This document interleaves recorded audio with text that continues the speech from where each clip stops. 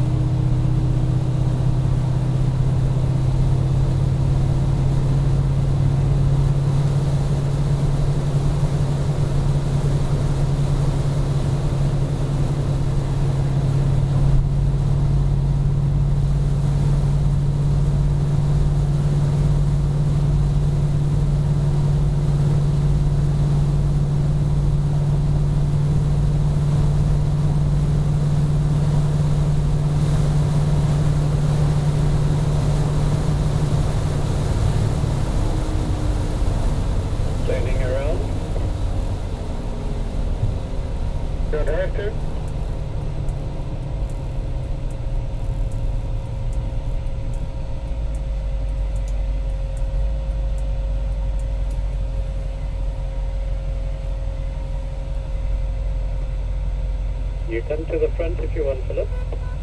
No, you can go, you can go.